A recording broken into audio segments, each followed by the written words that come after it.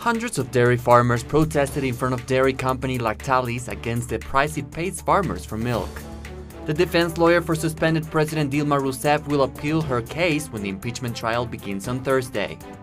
Tens of thousands of teachers in Chiapas did not give classes Monday in opposition to the national education reform.